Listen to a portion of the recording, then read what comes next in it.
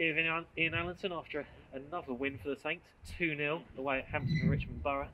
Again, Ian, just another professional performance, wasn't it? Uh, I felt after the first half an hour, Jake, um, I didn't think we were at the races early on. Um, full credit to them, they came out, they uh, were on the front foot. We could have been 2 0 down before we uh, before we decided there was a game, game of football there to be played. We uh, squeezed them a little bit and made things a little bit tougher. And then we started to pass the ball, and I thought we scored a great first goal again.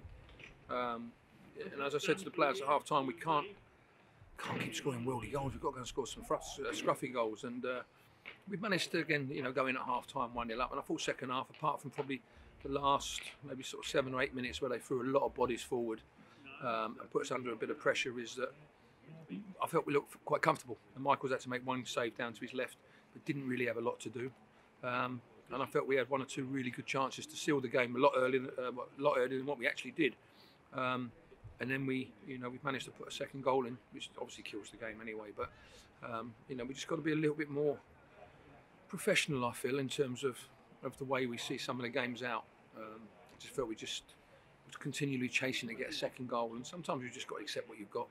Um, but you know, these these ain't easy places we've come to. I mean, these are a good side here again. You know, Gary's built a really good team. You've seen with the uh, with their performances over the last couple of weeks that it's going to be a tough game, and we've had to come in and defend for, for large numbers, um, for, for long periods in large numbers. Um, but we've managed to, to hit them on the counter attack on a couple of occasions and uh, and got our rewards in the end. You mentioned the goals there. It was two very clinical finishes, weren't they?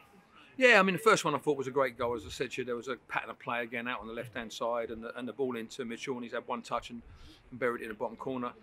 Their keepers made two great saves in the second half um, to keep them in the game at that stage. I mean, as I said, Michael's made one for us, but their keepers made two great saves, and then lucky enough it fell for Solomon that last minute, who's uh, who just drilled it into the bottom bottom corner from off the post. Really, I mean, we weren't sure if it had gone in for ages. It sort of took ages to nestle in the back of the net. So, but I'm really pleased, as I said. You know, we we can only keep doing what we're doing. We have to take one game at a time. We've said that, um, but I just felt that first 30 minutes today we really weren't at the races, and, and they're little things we've got to get right before before we go to Oxford on Tuesday.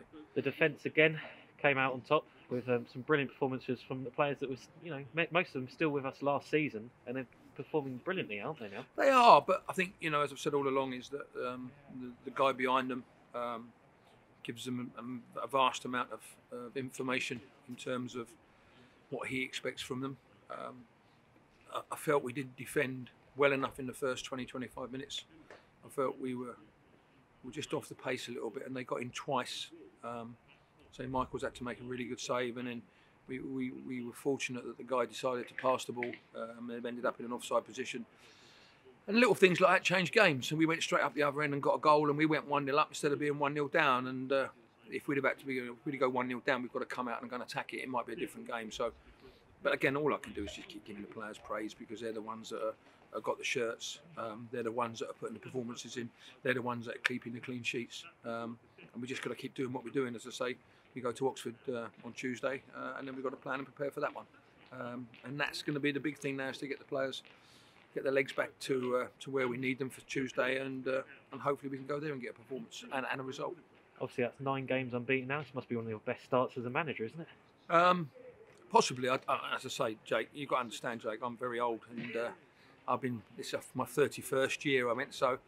I'm not sure if my memory will allow me to go back that far to, to what the best start was, but um, I, I'm sure you're right. It must be one of the best starts that, that we've had as a club and, and myself personally. So, you know, we take it all, um, but we all know that, you know, anything can happen on a weekly basis in football. So we've got to just make sure that we keep our feet firmly on the ground.